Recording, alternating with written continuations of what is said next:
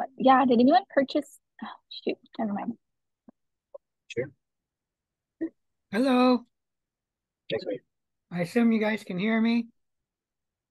Yeah, I can hear you. Okay, great. All right, any questions before we begin? Not, let me uh, share my screen.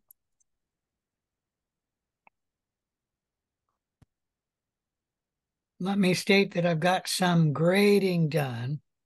I think I mentioned last time that I had lab three and lab four graded uh, for the first time. And so if you want to make corrections for those two labs, lab three and lab four, you need to have the corrections in by this Saturday, August 5th. Sorry, I got a frog in my throat. I'm still working on lab five. So I will extend the due date on that lab. Um, I'm not going to change that now, but uh, it says that the second grading's got to be due by August 5th, and I'm going to extend that because I haven't got the first grading done. Any questions about any of that? Am I sharing my screen? Looks like it. Yeah, you are. Yes, Okay, you are. Um, let's go ahead and close that. Well, no, I should go home. Let me remind you, you need to turn in a uh,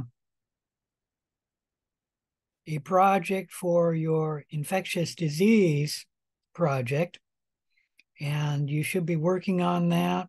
I don't remember when that's due. Let me look at the schedule here.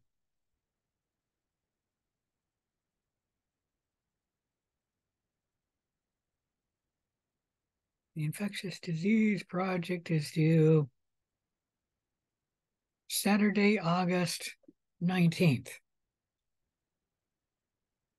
You should also uh, be thinking about the unknown projects. I haven't sent out the results, and I think I don't send out the results until next Tuesday for the first three tests. But they are started or they will be started. I think the gram stain doesn't start until this Sunday, and the PR lactose doesn't start until Monday, but I'll send you the results on Tuesday. Uh, if you're confused about the unknown project, send me an email and I'll try and get it straightened out. And anytime during the term, if you get confused on the unknown project, please send me an email. Any questions about any of that? All right, today is I have a question. Sorry. So- for my for my um project, Which the project? bacteria the bacteria the report on the bacteria I chose, I'm missing like a hundred pages out of the textbook Sorry? for this semester. I'm missing like a hundred pages out of the book, and my infectious disease happens to be in one of those missing pages. What So I don't have pages from 290 to 359. what chapter is it?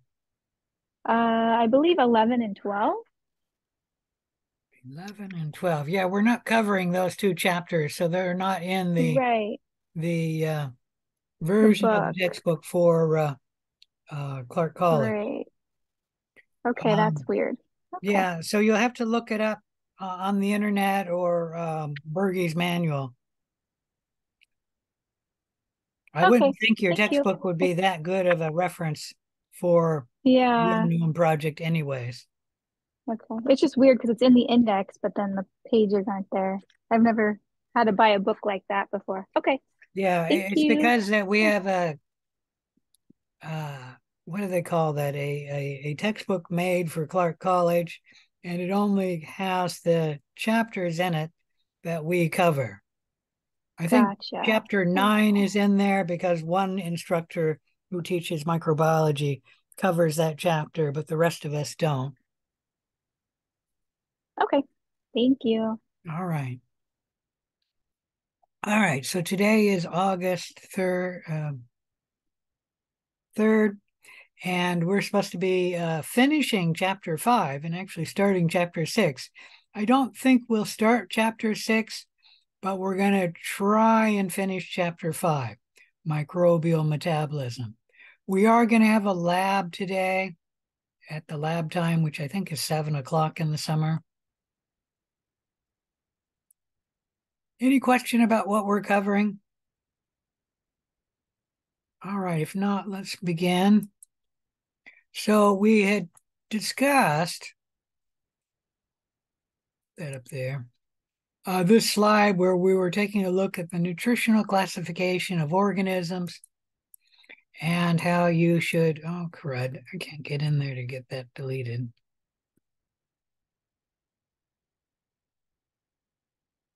Uh, you should know the uh, area marked in red. So when we're talking about energy production, you should realize that nutrient molecules have energy associated with the electrons that form their chemical bonds in the molecule. In cells, energy is obtained from catabolic reactions and it's stored in the bonds of ATP. Now, in our cells, we do break down the chemical bonds of glucose and essentially any food molecule we eat. And then we harvest that energy and store that energy in the bonds of ATP. ATP is an energy carrier of cells. It has a high energy bond, which is also an unstable bond. And the energy can be released quickly and easily. And generally, when cells need energy, they will take it from ATP. And what they do is they break down ATP to release the energy uh, from that third phosphate bond. Any questions about any of that? When we're talking about energy production, you should realize that energy production comes about through oxidation reduction reactions. Oxidation is where a molecule or atom loses an electron.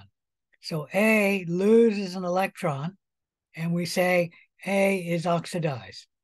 B gains the electron, and B becomes reduced because reduction is the gain of an electron. Oxidation reduction reactions are always coupled, meaning one molecule or atom loses an electron, another molecule or atom gains the electron.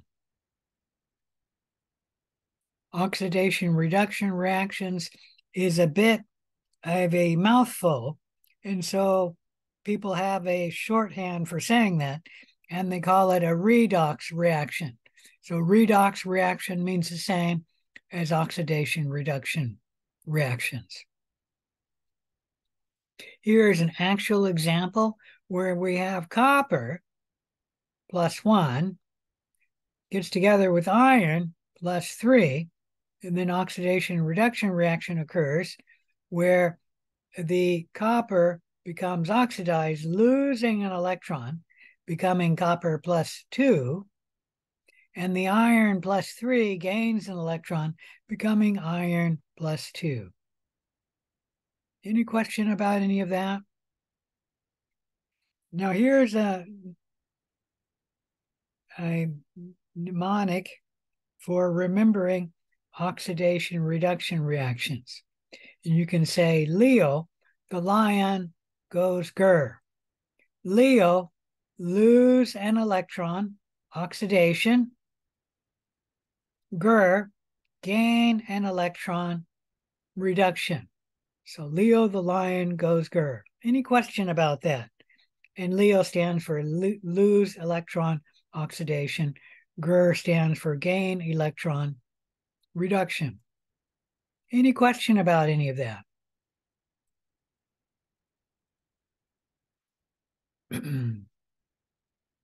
Oxidation in biological systems usually has a proton, meaning a hydrogen ion, hydrogen plus one, usually being removed with the electron.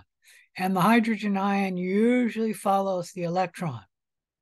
Remember that hydrogen ion plus an electron equals the hydrogen atom.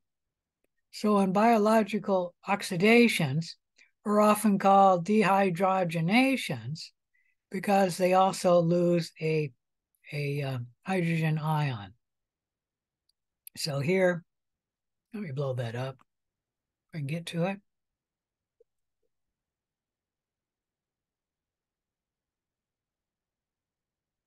We have a molecule and it's going to lose an electron. So it's going to become oxidized. It also loses a hydrogen ion. And then NAD plus gains the electron. Come on. It also gains the hydrogen ion and is uh, reduced and becomes uh, NADH a hydrogen ion and an electron. Actually, NAD uh, plus gains two electrons and one hydrogen.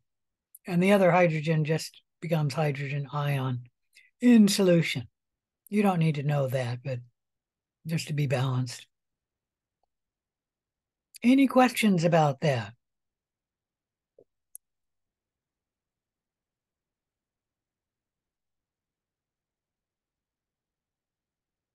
So that's something we see in biological reactions. So biological redox reactions are used in catabolism to extract energy from nutrient molecules.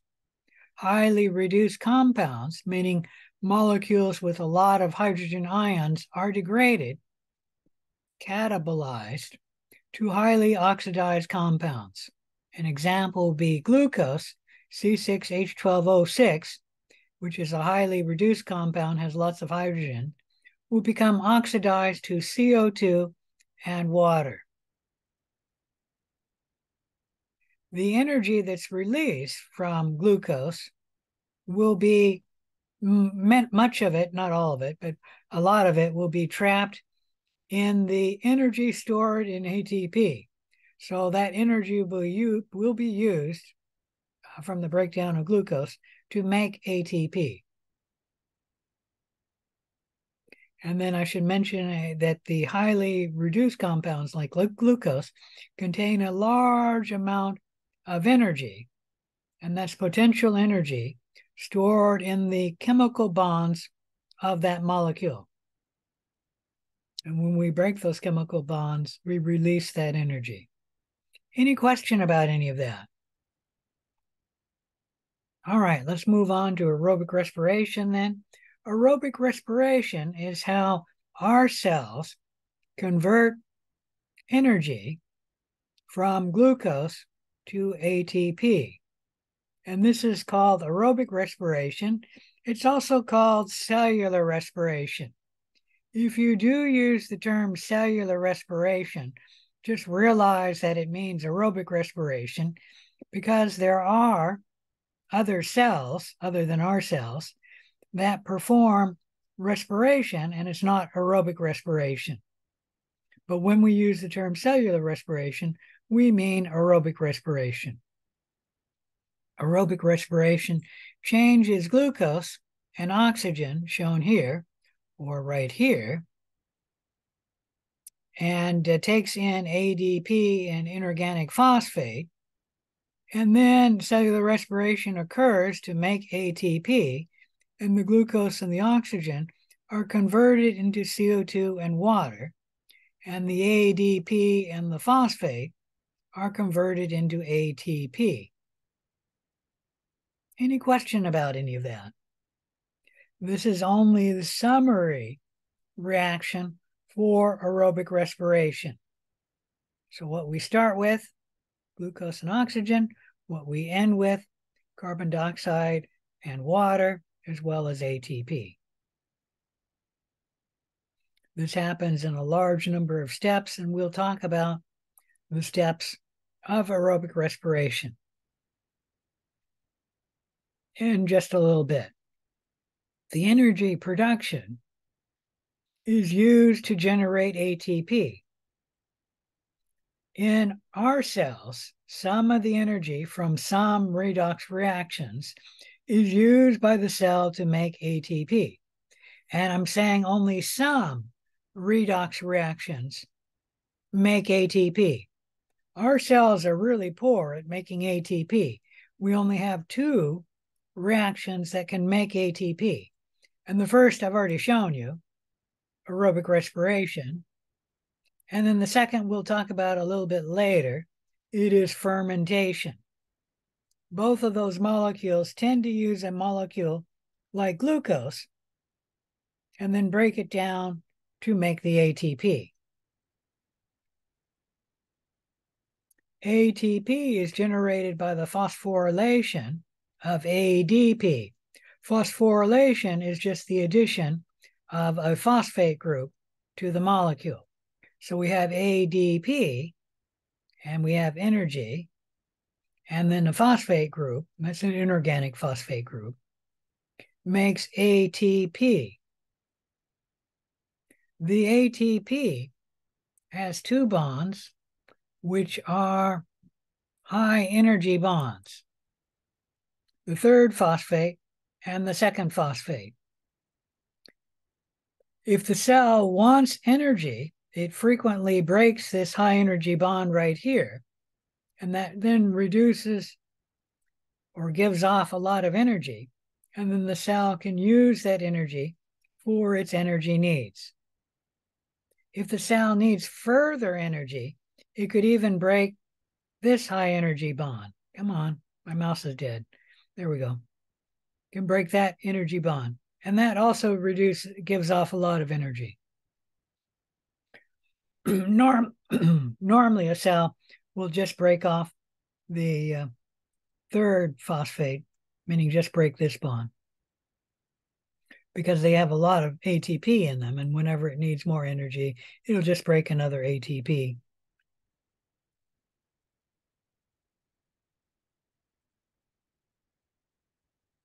Cells have three mechanisms for making ATP.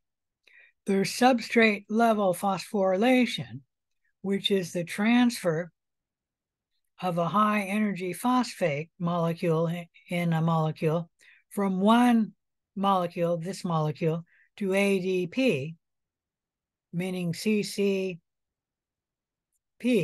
plus ADP makes CCC with the phosphate gone, and then the phosphate moves to ADP to make ATP. So the phosphate is directly moved and added to ADP.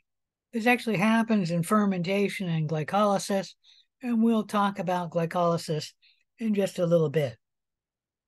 Fermentation we'll also talk about today, but it'll be later today. Any question about the generation of ATP? All right, this is the first way that cells can make ATP. The second way they can make ATP is by respiration. It is also called oxidative phosphorylation, but I don't use that term. Your textbook doesn't either. Respiration involves the sequential transfer of electrons from an electron donor molecule to the final electron acceptor meaning the last molecule to accept the electron. In aerobic respiration, electrons are donated by glucose, and then they're accepted by these molecules shown here, NADH or FADH2, which then go through all of these molecules. I'm not going to name them all. And the electron is passed from one molecule, and then it's uh, this molecule becomes uh, reduce, gaining the electron, and then it oxidizes, giving the electron to this molecule, etc. So the electron moves from this molecule to that molecule to that molecule to that molecule to that molecule to that molecule. And then aerobic respiration, the oxygen, uh, the electron leaves this last molecule and then goes to oxygen. So oxygen is said to be the final electron acceptor in aerobic respiration. All of these other molecules are uh, electron carriers, and they are actually the electron carriers of the electron transport chain that we'll talk about in a few minutes. And the point is, is that the electron is losing its energy in uh, each transfer. So the electron is losing its energy slowly. So the electron is not, uh, or the energy is not reduced or is not given off all at once. So the energy is given off in a controlled sequence. And that's why when you burn a cup of sugar or glucose, you'd have to take a blowtorch to it, and then the the glucose would catch fire, and it gives so much energy that I, being right here to the glucose, would have to step way back because it would give off so much energy. Because that's because the energy is being released all at once. In our cells, the energy goes through this electron transport chain, and that re, um, controls the release of the energy. And so when the energy is given off, it is not going to raise the temperature to a thousand degrees. Your cell will stay at 37 degrees. Any question about uh, respiration, the second way that we can generate ATP? Now, note I've talked about aerobic respiration, but here I've said respiration. This includes all forms of respiration aerobic respiration and anaerobic forms of respiration. They all happen by the sequential transfer of electrons from a donor molecule, such as glucose, and usually by NADH, and then some of these molecules here in the electron transport chain. They do not flow to oxygen in anaerobic respiration, and we'll talk about that later. The third way that energy can be used to make ATP is by photophosphorylation. Photophosphorylation only occurs in photosynthetic cells. Light energy releases electrons from chlorophyll and then that light energy is converted to chemical energy via an electron transport chain. And ATP and NADPH are generated, but they are often used to make sugar. So, usually in photosynthesis, we say that the energy in light is converted to the energy of sugar. Any question about that? And here you're seeing a bunch of organisms which are undergoing photophosphorylation. Any questions?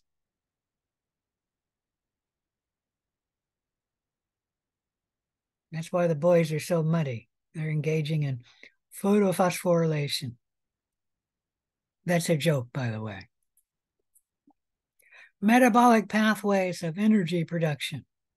Energy is released from molecules in controlled ways and stored by a series of reactions. It doesn't happen in a single energy burst. Electrons from the donor molecules are passed from one compound to another through a series of redox reactions. And this is the redox reaction of aerobic respiration. You don't have to memorize this, by the way. I'm just showing it to you.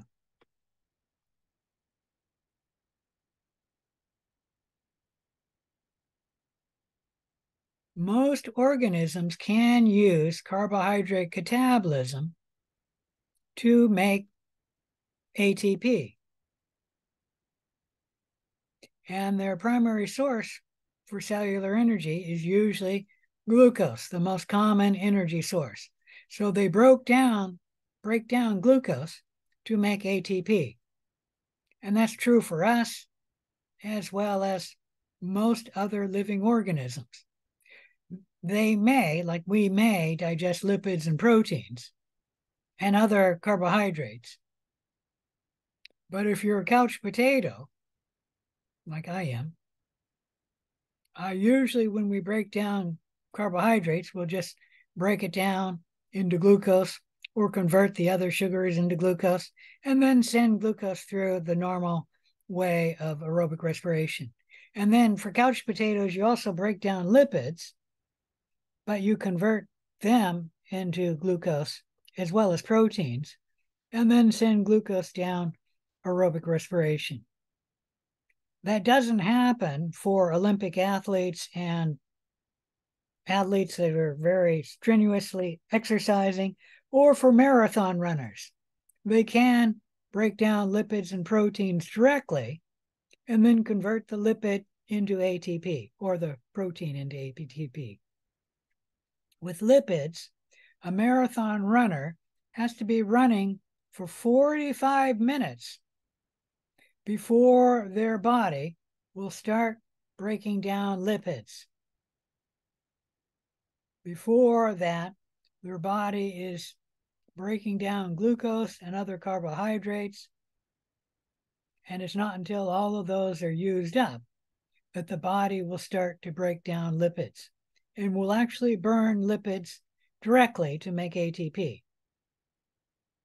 Now, like I said, if you're a couch potato, you'll probably convert the lipid into glucose and then send glucose through the aerobic respiration steps to make ATP. To produce energy from glucose, microorganisms have two general processes to make ATP. There's respiration, which I've already talked about, and let me state that there are two forms of respiration aerobic respiration and anaerobic respiration. The other process that organisms may use to make ATP is fermentation. And our cells can use aerobic respiration to make energy. They do not use anaerobic respiration. That's something that anaerobes do. We are an aerobe, so we do not perform anaerobic respiration. But some of our cells can perform fermentation. Does anybody know what of our which of our cells can perform fermentation?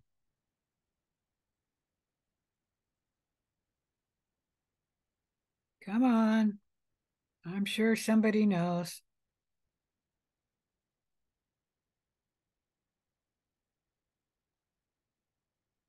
When you're exercising a lot, what burns? What feels like what tissue is burning? What? Don't muscles, Muscles. do Yeah, your anaerobic? muscles. Your muscle cells can perform fermentation. And they only do that when oxygen becomes limiting in the muscle. Okay? Any question about any of that? If not, artificial let's watch a intelligence, little but video also allows you to do things like on aerobic respiration. one-click buttons to rewrite sentences. After it the pops commercial. up as a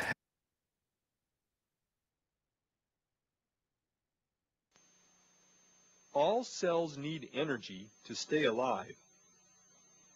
Usually your cells get their energy through the process called aerobic respiration. The word aerobic refers to oxygen. In aerobic respiration, oxygen interacts chemically with a molecule of glucose. The glucose is broken down into carbon dioxide and water. This process releases energy, which the cell stores in the chemical bonds of ATP.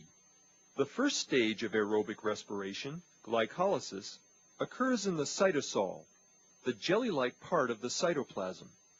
Glycolysis breaks each molecule of glucose into two molecules of pyruvate, energizes two electron carrier molecules, and produces two molecules of ATP. The next two stages of aerobic respiration are carried out in the mitochondria. Pyruvate enters a mitochondrion. Once inside, it is modified and enters the Krebs cycle. The reactions of the Krebs cycle break the pyruvate molecules down to carbon dioxide, create two more molecules of ATP, and energize more electron carrier molecules. The final stage of aerobic respiration is electron transport. The electron carrier molecules that were energized in the earlier stages deliver electrons and hydrogen ions to the electron transport chain. As the electrons are passed down the chain, energy is released and used to make ATP. This final stage produces as many as 32 molecules of ATP from each molecule of glucose.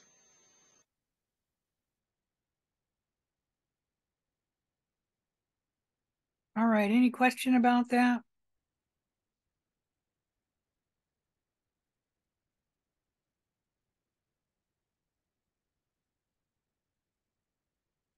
So let's talk about aerobic respiration. Here we're looking at an overview of aerobic respiration on the left and fermentation on the right. Aerobic respiration has three principal stages. Let me see if I can blow this up.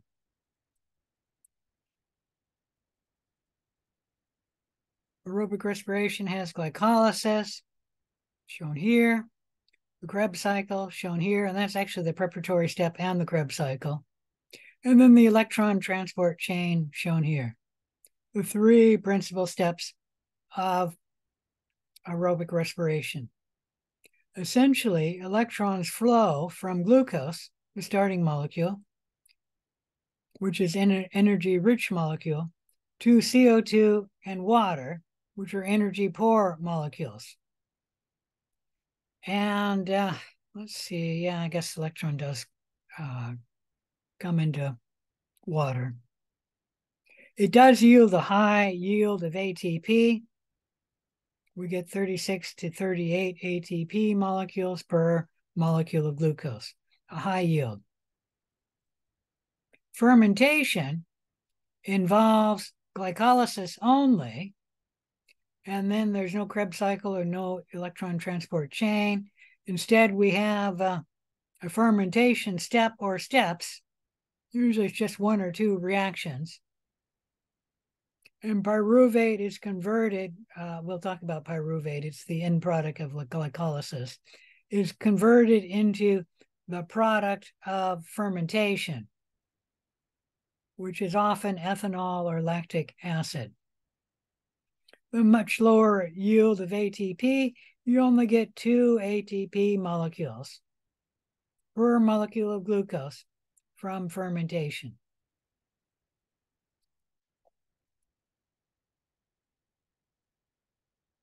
This is showing you an overview of aerobic respiration in a eukaryotic cell. If you take the pink square as a cell, you can see that aerobic respiration happens inside the cell, obviously.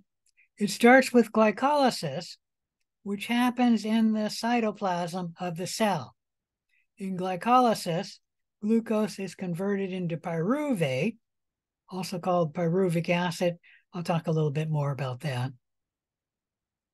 We do generate a little bit of ATP, and we generate NADH. I'll talk about the NADH later.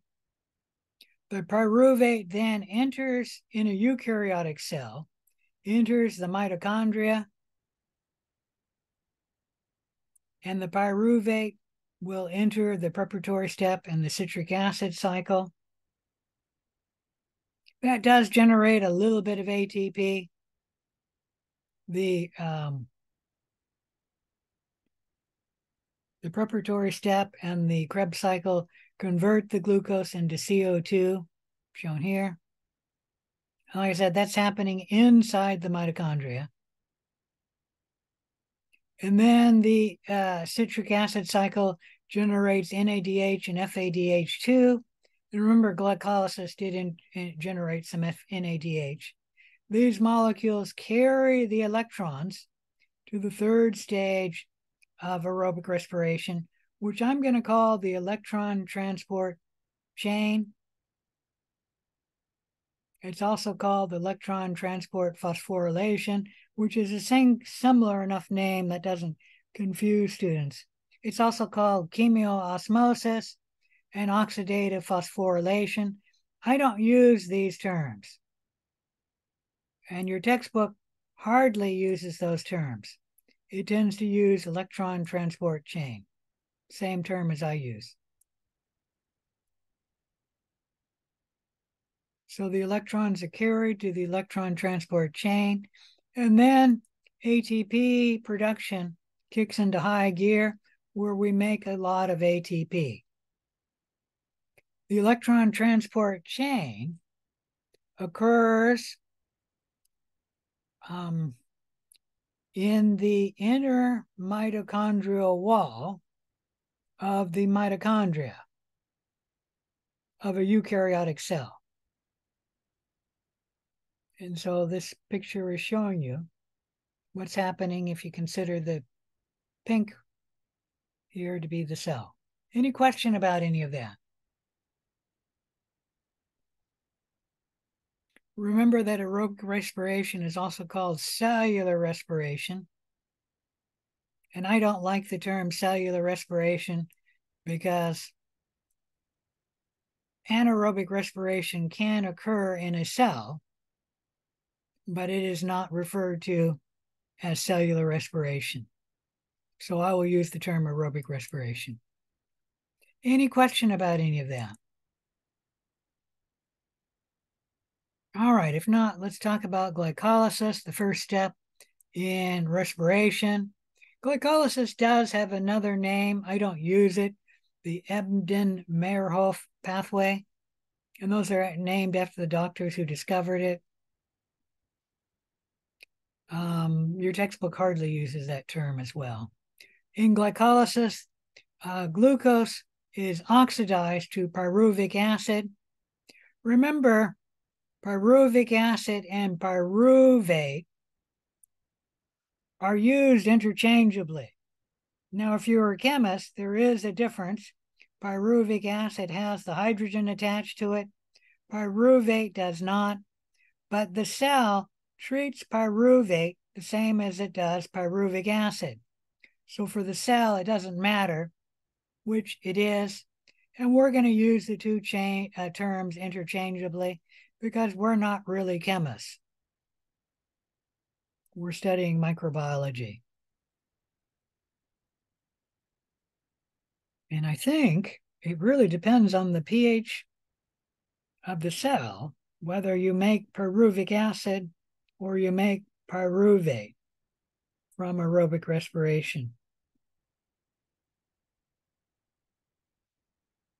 You don't need to know that last part, but uh, uh, glycolysis does occur in most living cells. It can occur in the presence of oxygen, but it doesn't use oxygen, so it can occur in the absence of oxygen. Glycolysis does produce some ATP and some NADH. Let me turn my volume down a little. I forgot I turned it up for that movie because it was so quiet. Here we're looking at the steps of glycolysis. And when I was a student, I had to name all of the, what do you call that?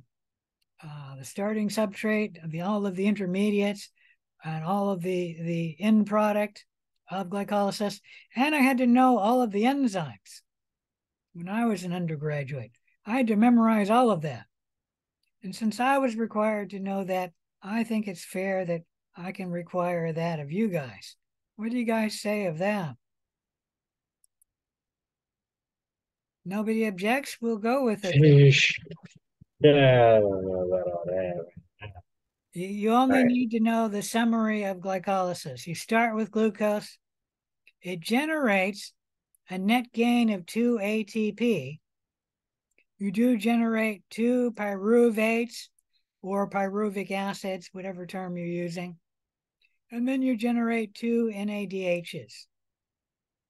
Why I'm saying a net gain of 2 ATP is we actually get 4 ATP out of glycolysis. However, glycolysis takes in 2 ATP in order for glycolysis to occur. And if you look at that right here, let me blow this up. You don't need to know this, I'm just showing you. Uh, this reaction takes in ATP, this reaction takes in ATP, and then we get out ATP, 2 ATP here, and then 2 ATP here. So the net gain of glycolysis is 2 ATP. Any question about any of that?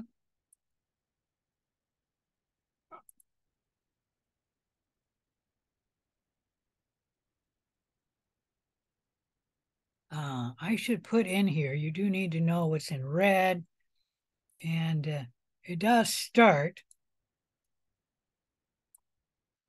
You do start, obviously, you should know this too. Start with glucose. So you do need to know that. Start with glucose, and then you get a net gain of 2 ATP, 2 pyruvates, and 2 NADHs. I'm going to save this, which is really pointless because I don't have this on the uh, the notes for you. but I'll try and update that. Let me make a note here.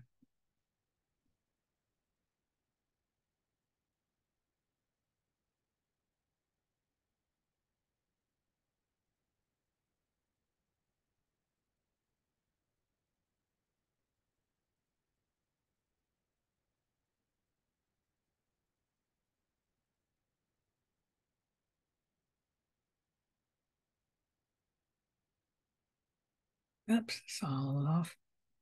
All right. Respiration then follows glycolysis. Respiration is the oxidation of molecules releasing electrons from the electron transport chain. We're going to talk about aerobic respiration, where the final electron acceptor is oxygen, but do recall that there's also anaerobic respiration, which many bacteria can perform. In anaerobic respiration, the final electron acceptor is not oxygen. Electrons do flow from glucose, but they do not end up at oxygen. They end up at some other molecule other than oxygen. It could be nitrite, could be nitrate, it could be uh, sulfate. It depends on the form of anaerobic respiration. And then ATP is generated by oxidative phosphorylation. So the pyruvate coming out of glycolysis cannot be used directly by the Krebs cycle. So the pyruvate is changed in the preparatory step into another molecule, which can then join the Krebs cycle. So pyruvic acid is oxidized and decarboxylated. You don't really need to know this step. And coenzyme A is attached to it. And then the pyruvic acid is converted into acetyl coenzyme A. Pyruvic acid is a three carbon molecule. Acetyl coenzyme A is a two carbon molecule. So one carbon is given off as CO2 and that's the first production of CO2 in aerobic respiration. Now, note that the preparatory step is going to run two times for each molecule of glucose because is that shown there? Nope, I got to go up here from one molecule of glucose, we generate two molecules of pyruvic acid.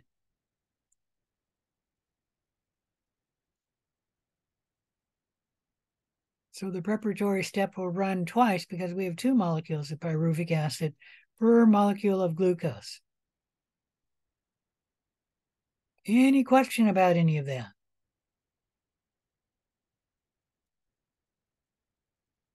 All right. The uh, acetyl coenzyme A then enters the Krebs cycle. You should know the Krebs cycle has a couple of different names. The tribo- tricarboxylic acid, because it has a lot of tricarboxylic acids in it. And that just means uh, uh, six carbon molecules.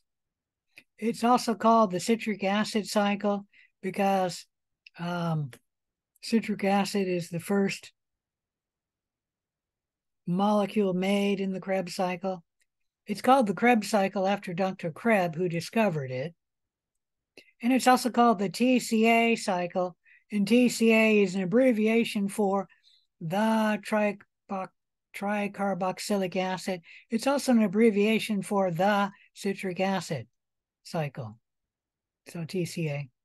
But we will use the term Krebs cycle. Your textbook tends to use the term Krebs cycle also. So there's the preparatory step. Let me see if I can blow this up. And then we enter the Krebs cycle. Acetyl coenzyme A joins with oxaloacetic acid to form the citric acid. You don't need to know that molecule really.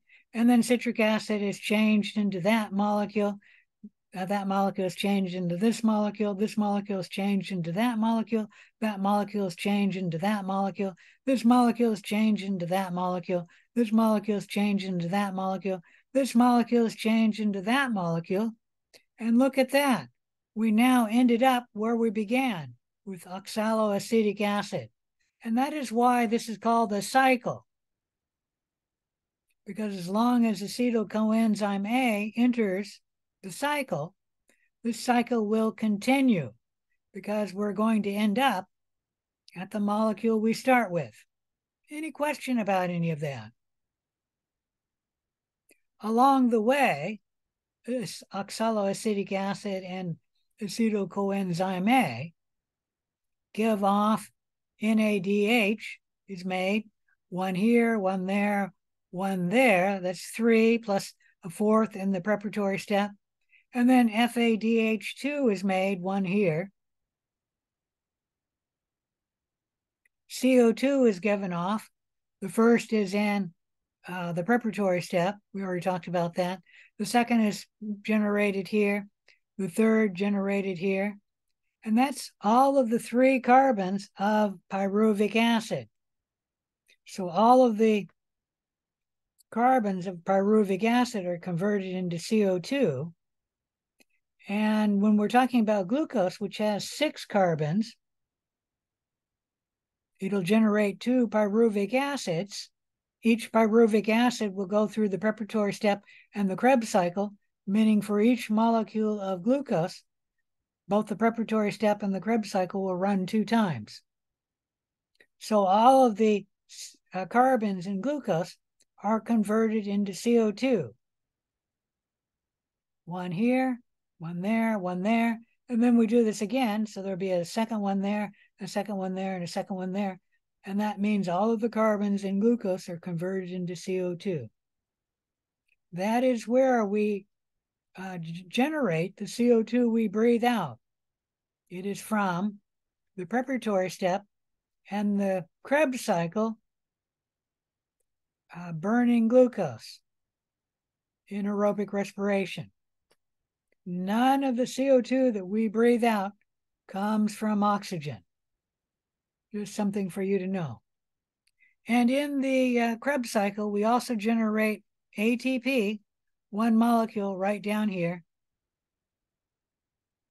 Now realize the preparatory step in the Krebs cycle run two times. So the preparatory step generates one ATP, and the uh, the Krebs cycle and the preparatory step generate one ATP, four NADHs, one FADH2, and three CO2. But realize that both of these steps run twice for each molecule of glucose. So to, for each molecule of glucose, we'll get two ATP, eight NADH, two FADH2, and 6 CO2. The NADH and the FADH2 will carry the electrons to the electron transport chain, the third step in aerobic respiration. Any question about any of that? You should know how many ATP are generated per molecule of glucose. You should also know how much NADH and FADH2 are generated from the preparatory step and the Krebs cycle. Any question about any of that? All right. So the NADH from glycolysis and uh, the NADH and the FADH2 from the preparatory step in the Krebs cycle carry the electrons to the third step of aerobic respiration, which is the electron transport chain.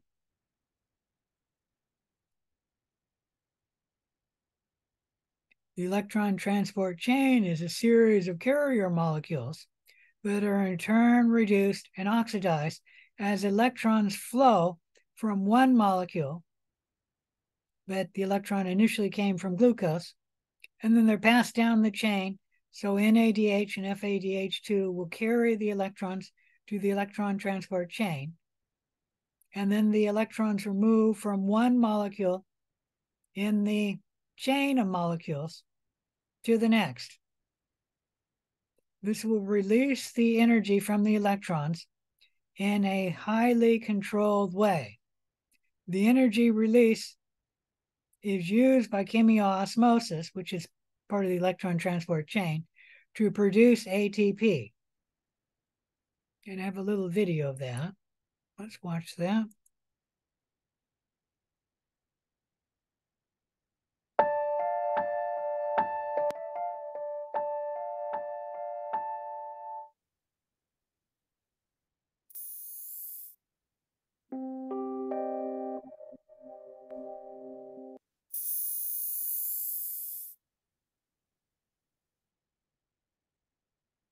The electron transport chain is a series of protein complexes embedded in the mitochondrial membrane. Electrons captured from donor molecules are transferred through these complexes. Coupled with this transfer is the pumping of hydrogen ions. This pumping generates the gradient used by the ATP synthase complex to synthesize ATP. The following complexes are found in the electron transport chain. NADH dehydrogenase, cytochrome BC1, cytochrome oxidase, and the complex that makes ATP, ATP synthase. In addition to these complexes, two mobile carriers are also involved, ubiquinone and cytochrome C.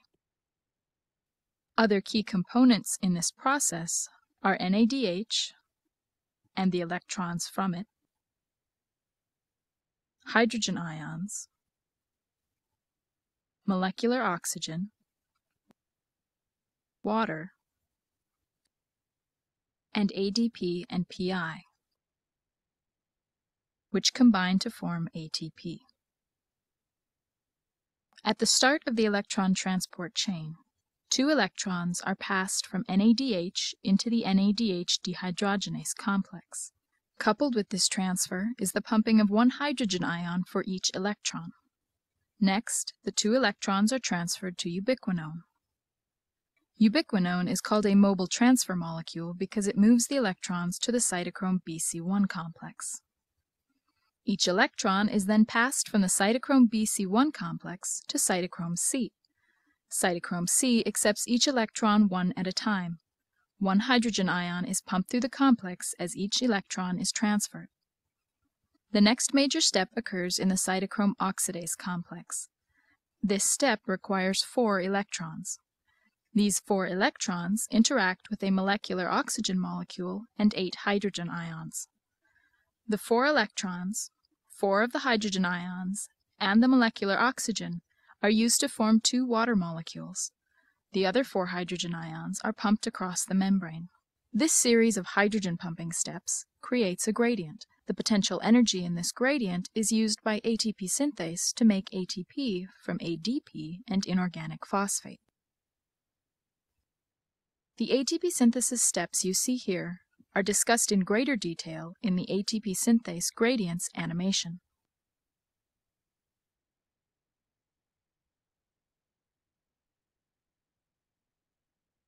This animation illustrates two full cycles of electron donation. In biological systems, however, many electron transport cycles occur simultaneously, helping to ensure that the proton gradient is always maintained. All right, any questions about that video?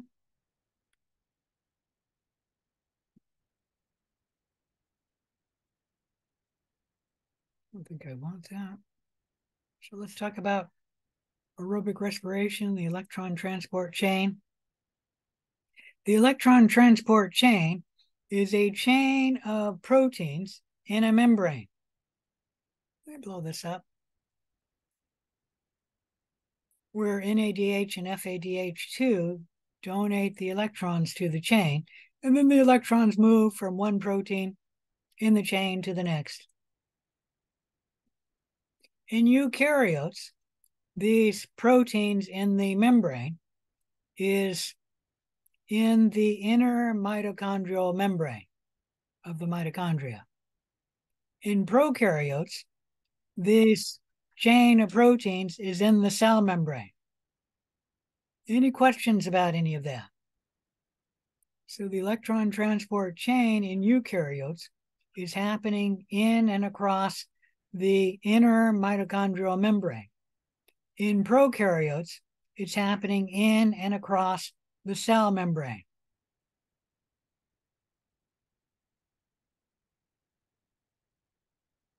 In short, the electrons are brought by NADH and FADH2, and then they're dropped in the, uh, or transferred from NADH, which becomes NAD plus. Uh, they're transferred to the first protein in the membrane, and then the electron moves to the third, to the fourth, to the fifth, to the sixth, to the seventh.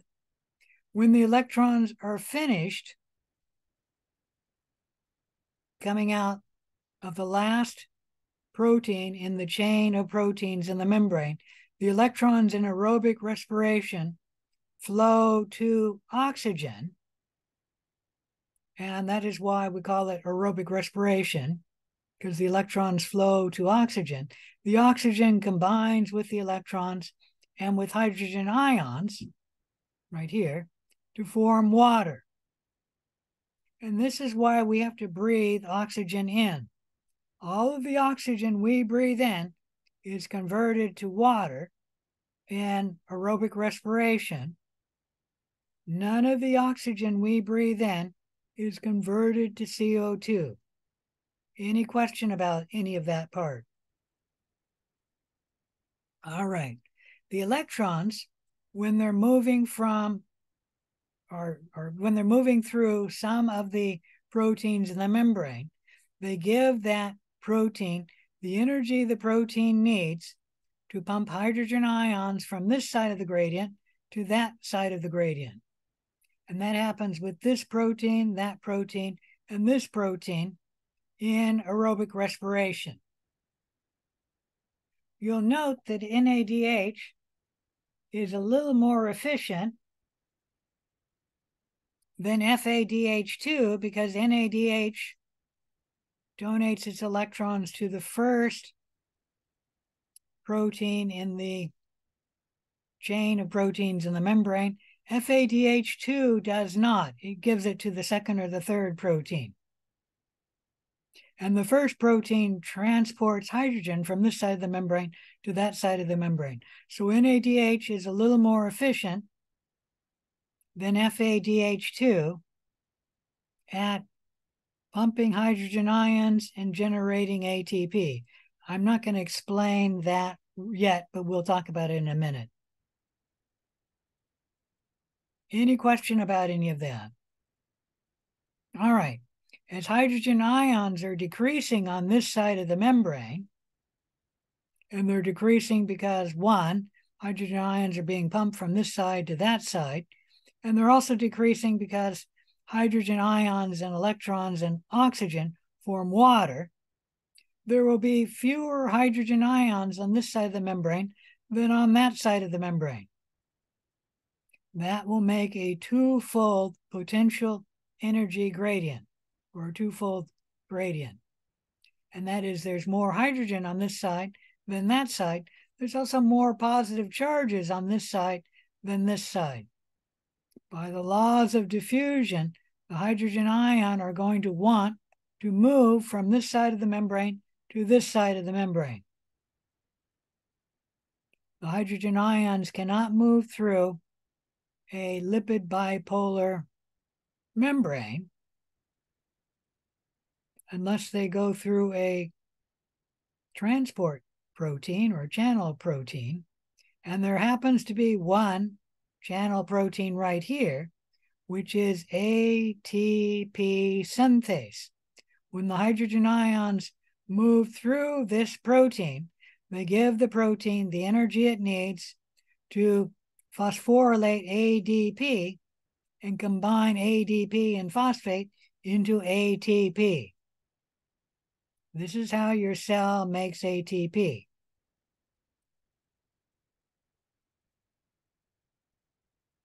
So the making of ATP from glucose happens in many steps of uh, chemical reactions and then at least one physical reaction where the hydrogen ions from this side of the membrane are transferred to that side of the membrane.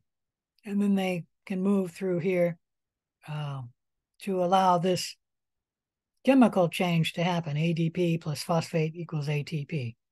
So the point is aerobic respiration happens by many chemical reactions and uh, one or two physical reactions. A physical reaction is not where the atoms are changed, like ADP and phosphate are changed into ATP. A physical reaction is where the state is changed, like when you uh, combine milk and cream and sugar, and then you make ice cream out of it. The molecules of milk and cream and sugar are all there. In the ice cream, they're just different because it's a physical change. Any question about any of that? All right, I think I've talked about everything in aerobic respiration. Uh, in the electron transport chain, ATP production kicks into high gear. You get 34 ATP molecules made in the electron transport chain of a prokaryotic cell. And they're a little more efficient than a eukaryotic cell, or I should say, most eukaryotic cells. Eukaryotes generate 32 to 34 ATP in the electron transport chain per molecule of glucose. Let me state that your heart, your liver, and your kidneys are more efficient cells, and they generate 34 ATP per molecule of glucose than all the other cells in your body, such as your skin cell, your nose cell, your cells of your bone. They generate 32 ATP molecules per molecule of glucose for the electron transport chain. Why do you think your heart, your liver, and your kidney are more efficient than all your other cells, like your skin cells, your muscle cells? Well, what do you know about your heart cell? And why is the brain less efficient than the heart? This should be apparent because nobody's answering. Your brain is not always working. Your heart is always working. Once it stops working, you're dead. The same is true for your kidneys and your uh, liver. They're always working. So these organs are more efficient and they generate 34 molecules of ATP per molecule of glucose. All the other cells in your body are not as efficient and they only generate 32 molecules of ATP per molecule of glucose. Any question about any of that? All right, I've already stated the final electron acceptor in aerobic respiration is oxygen. Oxygen combines with hydrogen ions and electrons to form water. So all of the oxygen we breathe in is converted into water by anaerobic respiration. Now, for humans, we happen to breathe out a lot of that water that we uh, make in aerobic respiration. But for like desert animals, the generation of water in aerobic respiration is critical to their survival. And desert animals like the a desert mouse, I forget what you call those things, but there's a species that lives in the desert. I used to know, but I don't remember. A desert mouse and other desert animals actually generate 60% of their water from aerobic respiration. And so they're very good at recycling that. We can recycle some of it, but we are not as good as a desert animal. I don't know how much we recycle, but it's not 60%. And a desert animal gets actually 60% of the water it needs from aerobic respiration. Any question about any of that? All right, this slide is showing you the steps of aerobic respiration in general, the steps in the electron transport chain, and where the chain is happening. Let me go through each of these. Uh, NADH and FADH2 bring the electrons to the molecules in the electron transport chain. NADH donates its electrons to the first molecule, FADH2 to the second molecule. So FADH2 is not as efficient at generating ATP as NADH. The electrons then flow through all of the molecules in the electron transport chain. You don't need to know any of them. We will talk a little bit in the lab about cytochrome uh, oxidase C. And then the electrons flow from the last protein in the membrane of the electron transport chain. The electrons flow to oxygen. Oxygen is converted into water. I've already stated this. Let me bring it down here. The uh, electron transport chain shown here happens in a eukaryote cell in the inner mitochondrial membrane. This membrane here of the mitochondria. In prokaryotes, which do not have a mitochondria, it happens in the cell membrane. Here's a question for you. The hydrogen ions, which are being pumped from this side of the membrane to that side of the membrane, where are the hydrogen ions ending up on this side of the membrane? Where are the hydrogen ions? It's actually shown here. Anybody? What's outside the cell membrane? Make sure I've got people here. Yep, there's 10 people here. Nobody's contributing. Well, think about that. Let me share my screen again. Uh, let's see now. They move outside the cell membrane? Yeah, they move outside the cell membrane, but what's outside the cell membrane? What's right here? It's actually shown right there. The cytoplasm. No, the cytoplasm is inside the cell membrane. Oh. So what's outside the cell membrane? The cell wall? The cell wall. Yeah, the hydrogen ions are pumped into the cell wall and then the hydrogen ions move uh, back into the cell by the ATP synthase, which converts ADP and phosphate into ATP.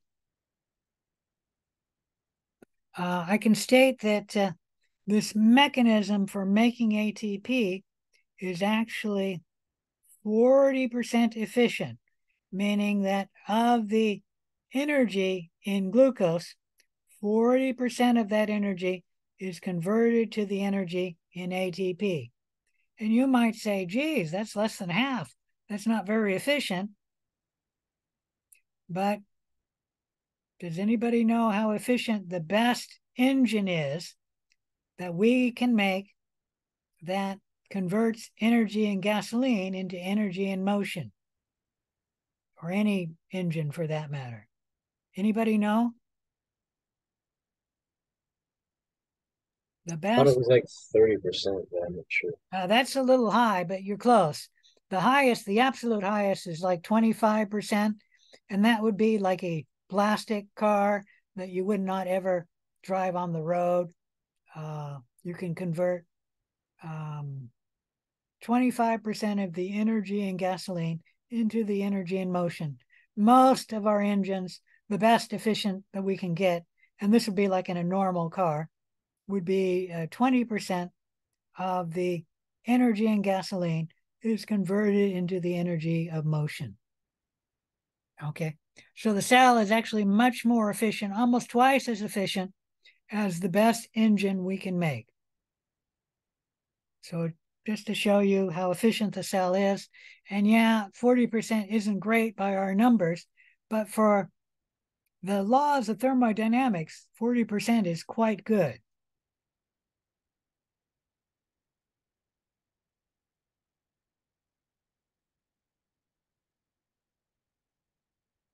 I've already talked about that. I've talked about that. I've talked about that. I haven't talked about the proton proton motive force, and that's just the pumping of hydrogen from one side of the membrane to the other.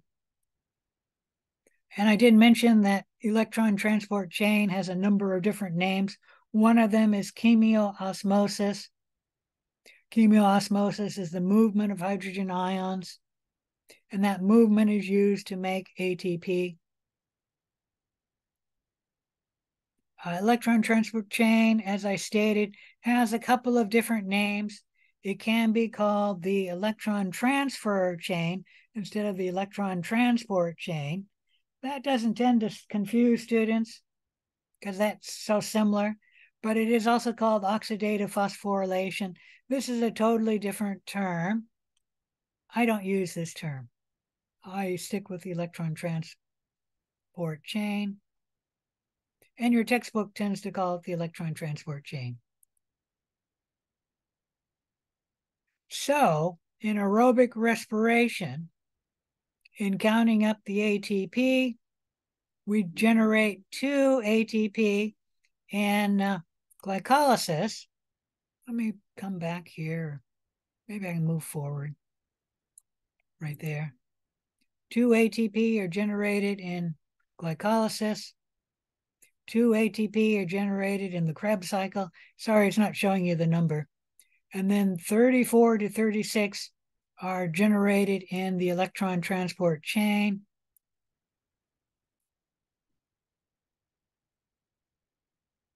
That makes a total of 36 to 38 ATP in eukaryotic cells. Depending on what cell it is, the heart, the liver, and the kidney will generate 38 ATP. All the other cells of your body only generate 36 ATP per molecule of glucose. Prokaryotes are a little more efficient. They generate 38 ATP molecules per molecule of glucose.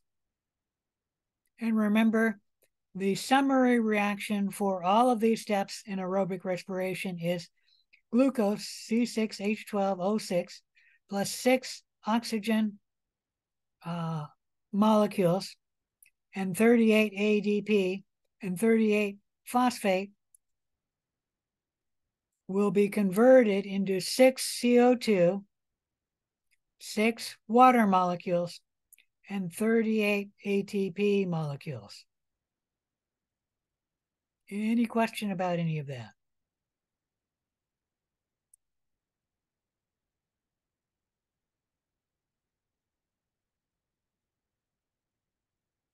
So you do need to know the numbers of ATP that are made in each step of, of aerobic respiration.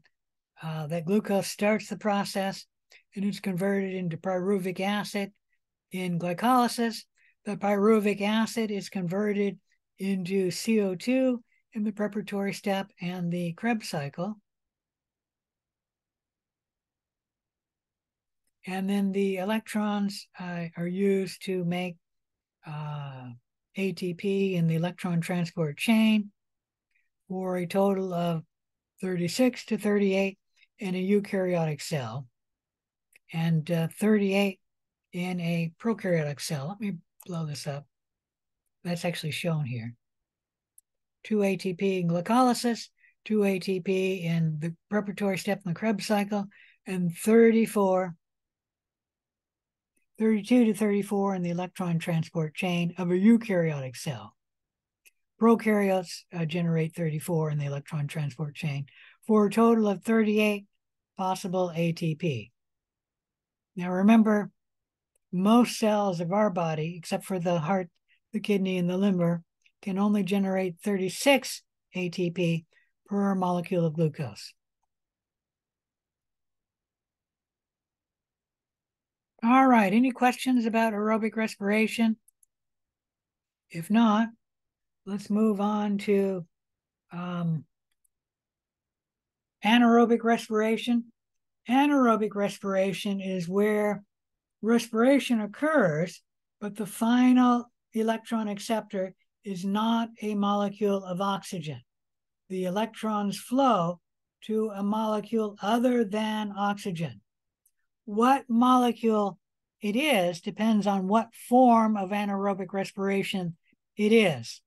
It can be an inorganic molecule where the electrons flow to nitrate or nitrite or sulfate or iron. And it just depends on what form of anaerobic respiration the cell is performing. Different cells can perform different forms of anaerobic respiration. Generally, anaerobic respiration does have glycolysis and the Krebs cycle, and they have the electron transport chain, but the electron transport chain is shorter in anaerobic respiration than it is in aerobic respiration. Because the electron transport chain is shorter, anaerobic respiration generates less ATP than aerobic respiration. How much less depends on the form of anaerobic respiration. The very best forms of anaerobic respiration generate 36 molecules of ATP. The worst forms of anaerobic respiration generate a little more than two molecules of ATP. So we'll say that the ATP yield is between 2 and 36. Therefore, anaerobes generate less ATP per molecule of glucose, and they tend to grow more slowly than aerobes for that reason. And that is, an aerobe grows faster because it can generate more ATP per molecule of glucose than the anaerobe. Any question about any of that? If you were actually in a lab and you were growing anaerobes, you'd note that they tend to grow slower than an aerobe. All right, so we've now talked about respiration, both anaerobic and aerobic. Let's talk to ferment, turn to fermentation. Fermentation is another way that cells can generate ATP, but it is not a form of anaerobic respiration, and that's really depending on your author. Uh, our author considers fermentation not to be a form of aerobic respiration, I mean anaerobic respiration. And anaerobic respiration does include uh, glycolysis, the preparatory step, the Krebs cycle, and an electron transport chain. And fermentation does not. Fermentation only has glycolysis and then the fermentation steps after glycolysis. Any question about any of that?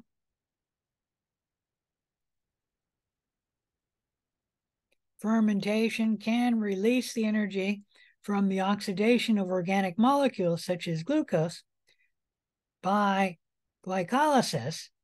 And then glycolysis uh, proceeds as normally, as discussed above, producing two pyruvic acids, a net gain of 2 ATP, NADH from the glucose. And you can burn other molecules besides glucose in glycolysis.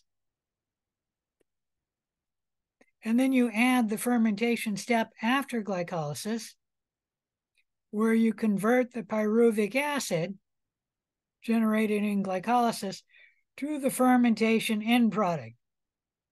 Usually, the fermentation step is only one or two chemical reactions. Fermentation does not require oxygen. It does not use the Krebs cycle or the electron transport chain. It has an organic molecule as the final electron acceptor.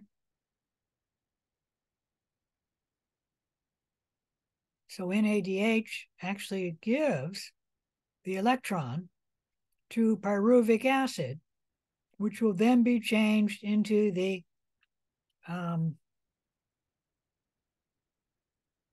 final product of fermentation. So this organic molecule is the final electron acceptor of fermentation. Any question about any of that?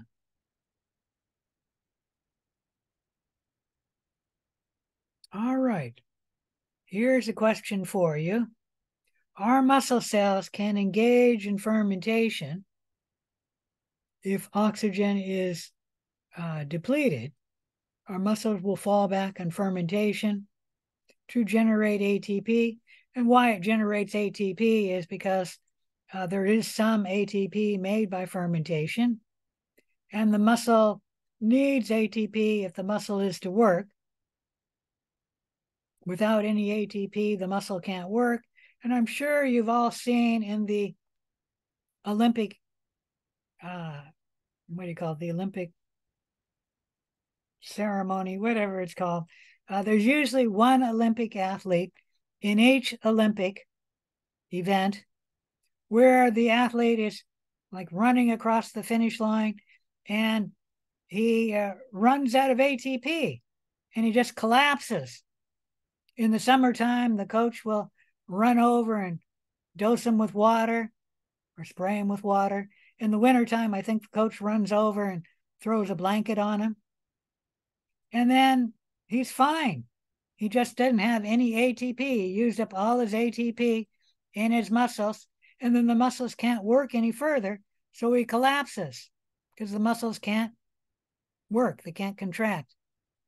And then he gets up after a little while because the heart and the lungs are working like mad to try and get oxygen and uh, food and glucose to the muscle cells so that they can, can perform aerobic respiration.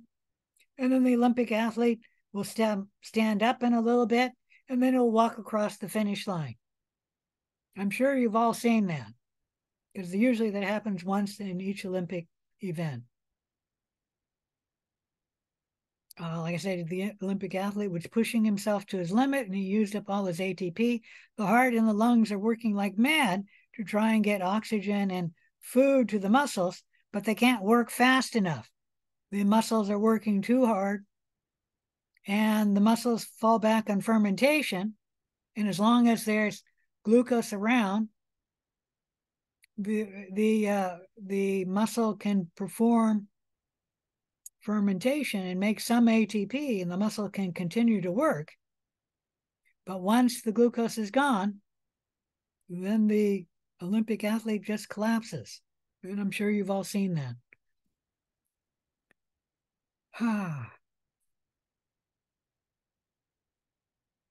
the uh, lactic acid will be made in our muscle cells and it's not a poison it will start burning our muscle because it is an acid but uh, uh, what happens is with time once we stop working our muscle that lactic acid will be converted back into pyruvic acid, and then we'll go through aerobic respiration in the normal way. Uh, NADH right here is not stored from glycolysis. It is used up in the fermentation reaction right here. And why doesn't the cell store this and then just wait for the uh, the heart and the lungs to work like mad to bring oxygen and food to the muscle?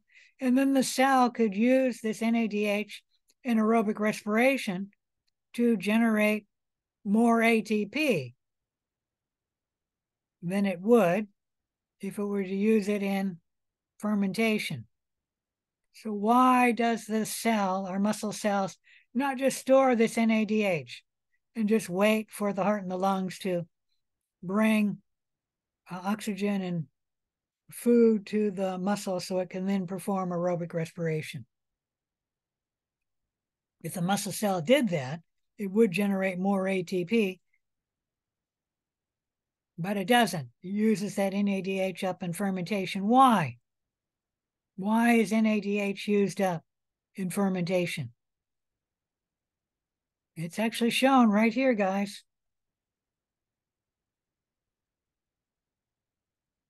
If you don't have any NAD plus, you cannot have glycolysis happening.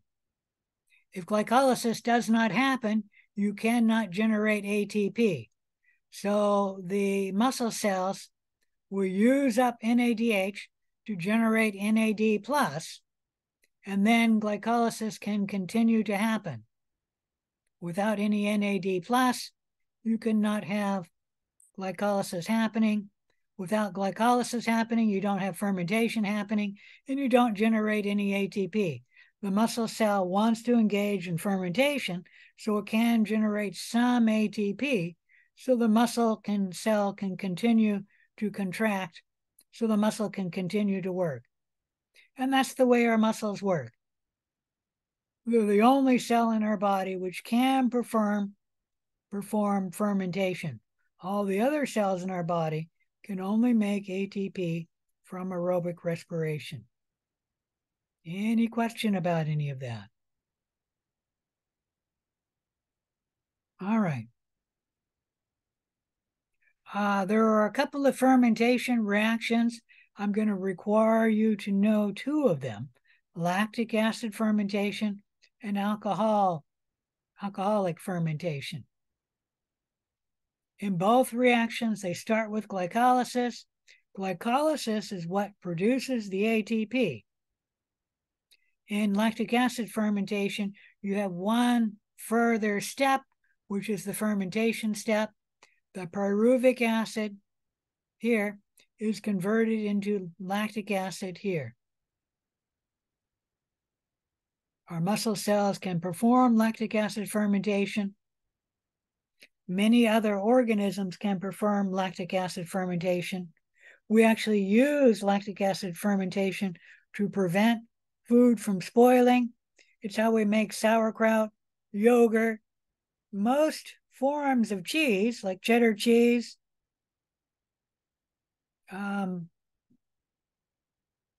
uh, what do you call it? Uh, sausage is made this way. Most fermented food is made with lactic acid fermentation, and even chocolate is made this way. Alcoholic fermentation is another fermentation reaction where pyruvic acid is changed in two steps into ethanol. Ethanol is a two carbon molecule. Pyruvic acid is a three carbon molecule. And so one carbon dioxide has to come off in alcoholic fermentation, and that generates CO2. This CO2 is actually why beer has its fizz. CO2 is generated and it stays in the bottle. That's why the bottle is capped. And that gives beer its fizz. And wine, which is another thing we use alcoholic fermentation, a wine is made in an open barrel or casket, and the CO2 is generated, but it is given off to the air. And so when you open the bottle of wine, it doesn't have CO2 in it. If we were to generate the wine in a bottle and cap the bottle so the CO2 remains in the wine, we could do that, but we don't call it wine. We call that champagne. It's the same thing as wine. It's just that it's fermented in the bottle that's capped. Any question about any of that? A yeast performs alcoholic fermentation. And if you make sourdough bread, which actually is a bad example, you make leaven bread using yeast, it performs alcoholic fermentation, and that gives off the CO2, which gives the bread its its uh, lighter structure and uh, makes the bread leavened. Okay. Sourdough bread does have yeast in it that gives off the CO2 and making it uh, leaven, but sourdough also has bacteria in it which make the acid which make the bread sour. And it doesn't perform alcoholic fermentation. It usually performs lactic acid fermentation, the uh, the uh, bacteria in sourdough culture. Uh, many bacteria can perform lactic acid fermentation. If you know any of the bacteria that make yogurt, I used to know them, but I'm afraid I don't remember. Streptococcus lactis, I think, might be one. Uh, many of the bacteria that make yogurt, there's more than one, uh, can perform lactic acid fermentation. There are different fermentation reactions. You don't need to know all of them. Let me see. Yeah, that's good enough. Like I said, you only need to know lactic acid fermentation and alcoholic or ethanolic fermentation. Uh, the yeast is uh, Saccharomyces cerevisiae. The bacteria, like I said, Streptococcus lactis is one, Lactobacillus and then there's some bacillus species which perform lactic acid fermentation. A cheddar cheese is made this way. There is one cheese which is not using lactic acid fermentation, and that is using propionic acid fermentation, and that is Swiss cheese. Swiss cheese is a different process, doesn't use lactic acid fermentation, and Swiss cheese gives off CO2 and that's why Swiss cheese has a hole in it. Uh, there are other fermentation reactions like butyric acid fermentation, which makes more than just butyric acid. It actually makes all of these compounds. And then succinic acid, which makes more than just succinic acid. It makes all of these compounds. And then uh, formic acid, which makes all of these compounds. I think this is the one we use to make uh, vinegar. And this one we use to make many different products. Uh, this one we make to make yeast, bread, and wine. I should say leaven bread here. Uh, this one is uh, almost any other fermented food you can think of, except for Swiss cheese, which is here, and uh, and alcohol. All right, any questions about fermentation? Uh, this table is just showing you some of the different fermentation end products. Ethanol, lactic acid are the only two you need to know. Uh, cheese, most cheese, yogurt, rye bread, sauerkraut, summer sausage, lactic acid fermentation, beer, wine, leavened bread, ethanol. We do uh, use ethanol in our cars as fuel too. So we got fuel down there. Acetic acid fermentation is used to make vinegar. You don't need to know that one.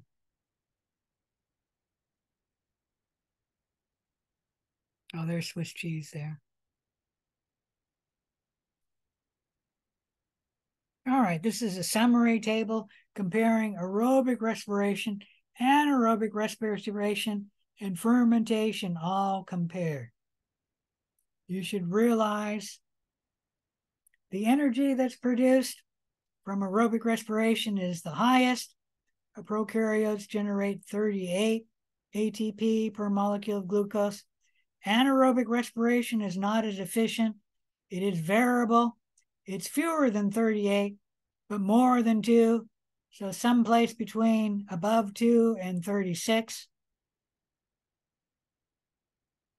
for anaerobic respiration. Fermentation only generates 2 molecules of ATP per molecule of glucose. Aerobic respiration has to happen in oxygen, meaning in an air, aerobe. Anaerobic has to happen anaerobically. Fermentation can happen either way, either with air or without air. The final electron acceptor in aerobic respiration is oxygen. In anaerobic respiration, it's usually an inorganic molecule other than oxygen, something other than molecular oxygen. In fermentation, the final electron acceptor is an organic molecule like pyruvic acid. You don't need to know that column. All right, any question about the summary? So we've talked about catabolism and making ATP, especially using aerobic respiration, but we did talk a little bit about anaerobic respiration, and we did talk about fermentation.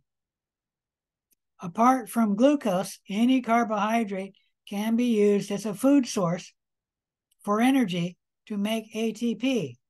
Generally, carbohydrates are just broken down into simple sugars, and then the simple sugar is converted into glucose, and then the glucose is sent down aerobic respiration in the normal way.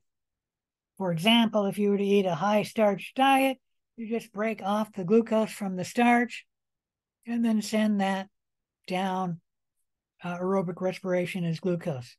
But if you were to eat milk, for example, the lactose sugar will be digested. Uh, that'll mark, make glucose. And then the beta galactose will be converted to glucose.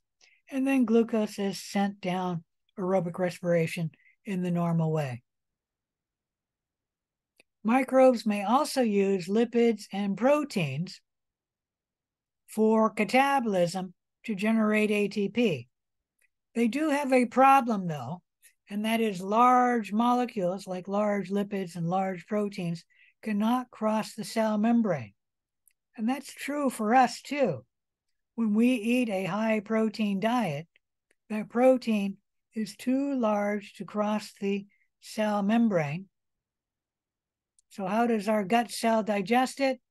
The same way that microbes do, and that is they excrete lipases and proteases extracellularly, meaning you secrete these enzymes outside the cell and then digest the cell extracellularly, breaking down the lipids and proteins into the monomers.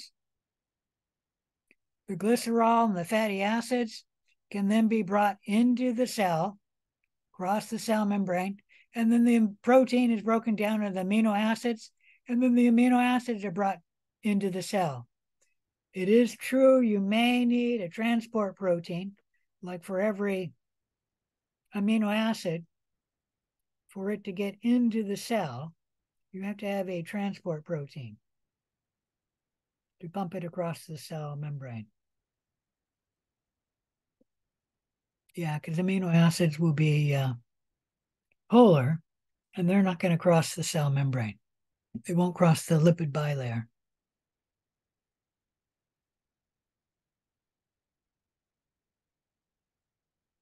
Glycerol will be catabolized and by glycolysis, the fatty acids of, of lipid will be cleaved into two carbon molecules, and then those two carbon fragments will enter the Krebs cycle as acetyl coenzyme A. of the amino acids, the amino group NH2 has to be removed. And then the remainder of the amino acid will be converted, and most of them will enter the Krebs cycle. Any question about any of that? All right, let's look at that in a little more detail. So carbohydrates will just be converted to a simple sugar. The simple sugar will be converted into glucose, and then glucose will be sent through aerobic respiration or anaerobic respiration in the normal way. Lipids will be broken down into glycerol and fatty acids. The glycerol will join um, the Krebs cycle, I mean, excuse me, glycolysis midway through, and then go through uh, the um, glycolysis in the normal way. The fatty acids will be broken down into two carbon chunks, converted into acetyl coenzyme A, and then enter the Krebs cycle. And that's how lipids are digested. Proteins will be broken down into amino acids. I guess I should have said that. Well, that they're broken down into those. That's right. Uh, the amino acids will depend on what the amino acid group is. There are different amino acids. Some of them will be entering glycolysis near the end. Some of them will be converted into acetyl coenzyme A. Some of them will be converted into a uh, molecule which will then enter the Krebs cycle. The point is proteins, carbohydrates, and lipids can be digested by catabolism, and then we can generate ATP from protein digestion, carbohydrate digestion, and lipid digestion, similar as we generated ATP from glucose.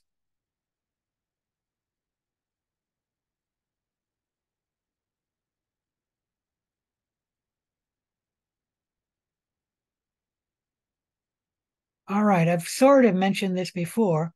The metabolic oxidation of glucose in aerobic respiration is the most efficient at generating ATP. That is the most efficient way that cells can generate ATP. The energy in ATP is used for various cellular processes, including active transport. Like if the cell wants to pump something into the cell, it will split ATP, take that energy to transport the molecule into the cell with an active transport protein. But ATP can be used for movement, like the reason why my muscles are moving is because I'm using up ATP.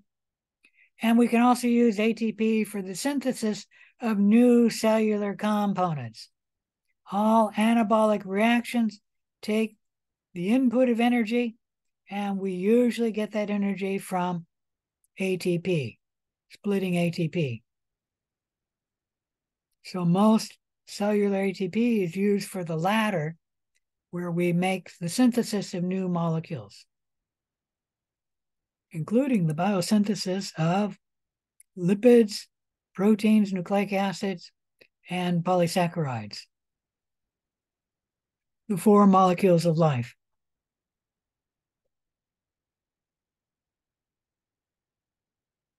Now, I've talked about anabolic and catabolic pathways like they were separate and distinct pathways. In reality, that is not the truth. That is not the truth. The two pathways have integration.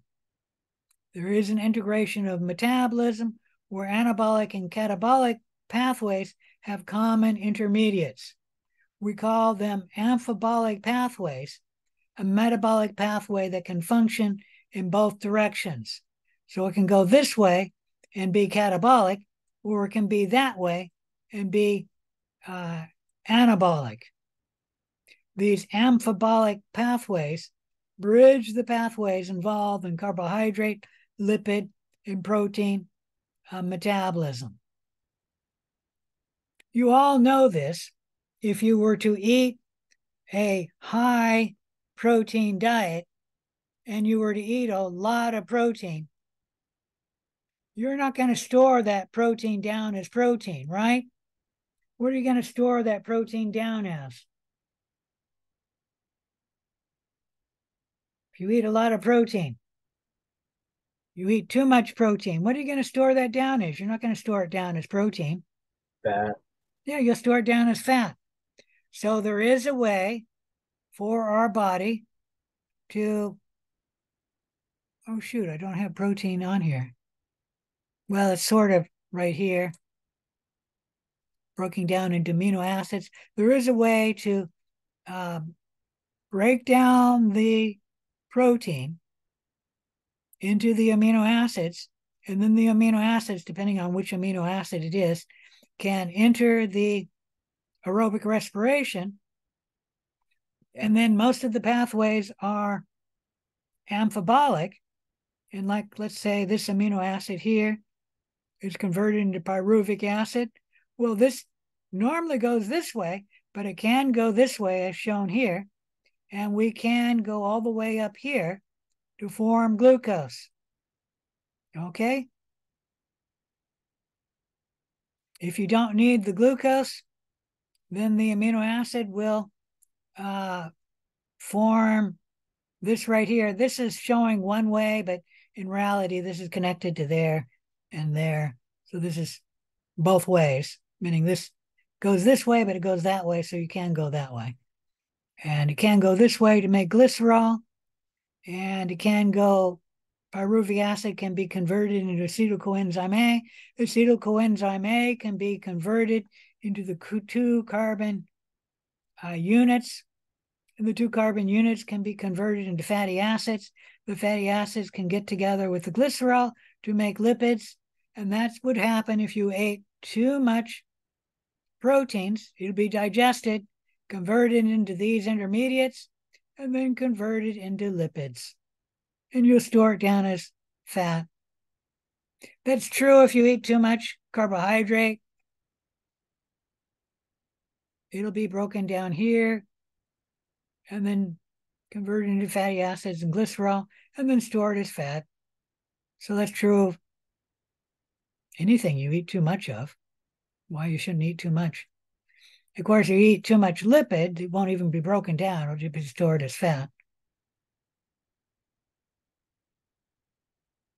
Any question about any of that? The point is, there's a lot of amphibolic pathways, and the Krebs cycle and the uh, what do you call that? The preparatory step and glycolysis, all of these reactions are amphibolic. It is true that we cannot convert CO2 into its preliminary molecule. So we cannot do that.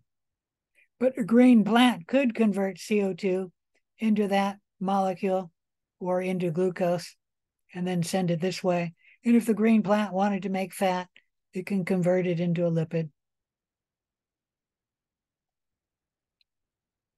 We have a lot of amphibolic pathways, and we are not very good at converting one molecule to another. Green plants and photosynthetic bacteria, as well as most microorganisms, are better at converting one molecule to another than we are. But as you can see, all of these pathways in aerobic respiration shown here uh, can be converted into an intermediate and then converted into lipid or protein or carbohydrate. And that is how most of us catch potatoes would uh, burn a protein. You'd convert it into uh, an amino acid, convert it into some molecule of aerobic respiration. And then, most likely, if we're a couch potato, we're going to convert that back into glucose and the glucose will be stored down as gly- um, glycogen in our liver. And then the glycogen will be released when we need it. and it'll be uh, released as glucose and then sent down uh, aerobic respiration the normal way. So that's just showing how a couch potato tends to burn protein. And the same with lipids. They won't burn lipid directly. And like I said, it's actually difficult to burn lipid. In a marathon runner, they don't burn lipid directly until 45 minutes into the run. But they can burn lipid. Most of us don't exercise for 45 minutes, so we would never be doing that. At least me, who's a couch potato. I do do some exercising, but uh, very seldom do I ever do strenuous exercise for 45 minutes. Any questions about any of that?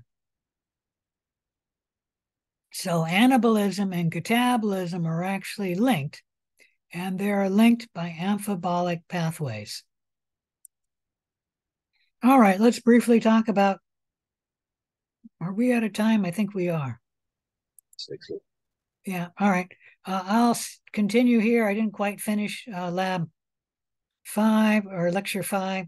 Uh, we have just a few more slides, I think two more, but we'll continue here the next time. I will see you at seven. Come on for the lab.